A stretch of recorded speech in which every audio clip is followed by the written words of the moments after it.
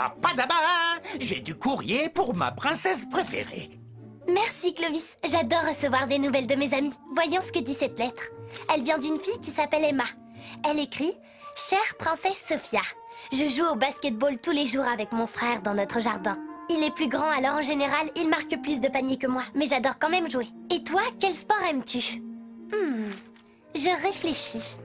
Chère Emma, il y a tellement de sports que j'aime pratiquer.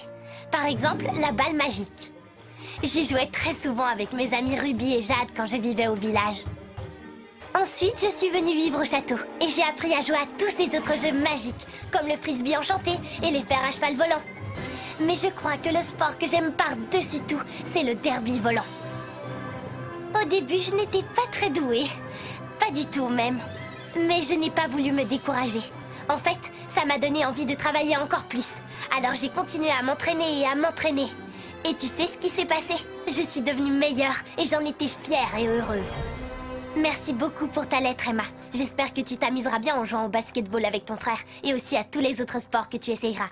Et surtout, n'oublie pas de t'entraîner. Tendresse, Princesse Sophia. Clovis, tu peux donner ça à Mia et Robin pour qu'elle la dépose chez Emma? Mais bien sûr, Sophia. À tout à l'heure. you